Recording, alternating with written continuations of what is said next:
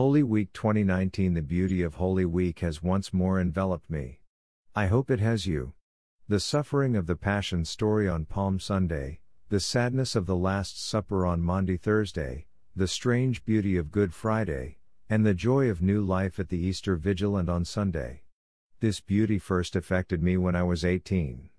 Until then, I had only been aware of long, boring services, but at 18 I found myself inside the mystery and am there every year.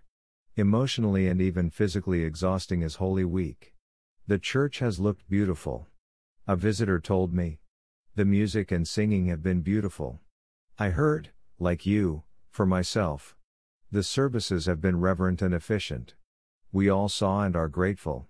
The participation of people has been inspiring, wanting to be here, playing parts in the ceremonies, reading, washing of feet, procession of oils, ministering at Holy Communion.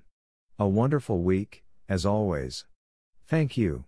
God is young, says Pope Francis, and he quotes a prayer of St. Thomas More Grant me, O Lord, good digestion and also something to digest. Grant me a healthy body, and the necessary good humor to maintain it. Grant me a simple soul that knows to treasure all that is good and that doesn't frighten easily at the sight of evil, but rather finds the means to put things back in their place. Give me a soul that knows not boredom, grumblings, sighs, and laments, not excessive stress because of that obstructing thing called I. Grant me, O Lord, a sense of good humor.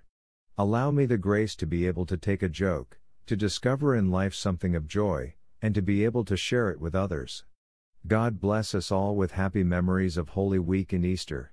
F.R. John, 22nd of April 2019, related link, Fr. John's Parish Newsletters.